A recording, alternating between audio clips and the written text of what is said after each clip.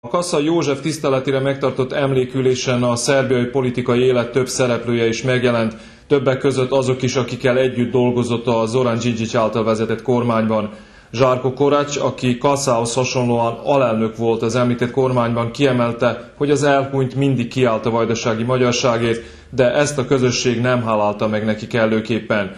Kassa József 15 évig volt Szabadka polgármestere, és minden bizonyal a város történelmének egyik legjelentősebb személyisége. Szabadkán a legsúlyosabb időkben sem történt vérontás. Kinek köszönhető ez? Ha többeknek is, de köztük Kassa Józsefnek biztosan köszönhető. Tehette ezt, mivel több mint százér békeszerető polgártársuk mandátumágon birtokában volt. Ennek a mandátumnak a birtokában eszközölte ki azt, hogy a város megszabaduljon a kommunizmusra utaló leglátványosabb szimbólumtól, a Városháza tornyán lévő ötágú csillagtól, és hogy visszakerüljön helyére, helyére a kereszténység szimbóluma. És ezt a polgárok körében szerzett mandátumot és tekintélyt sohasem herdált el. Kassa József éveken keresztül volt a Vajdasági Magyar Szövetség elnöke, majd utána tiszteletbeli elnöke, de az emlékülésen a párt vezetőségéből senki sem jelent meg.